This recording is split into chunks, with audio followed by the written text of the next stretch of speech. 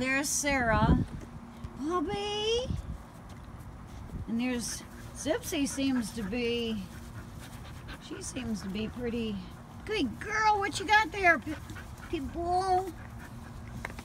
And there's little Sarah. So we don't have the baby anymore. I couldn't manage her. And with work so iffy. But here's my yard. I tidied it up, cleaned up all the toys and everything.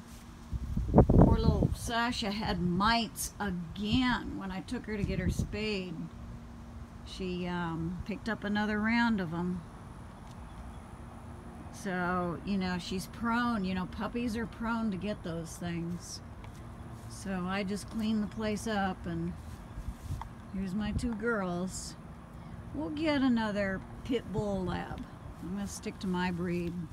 We'll get another one when it's right.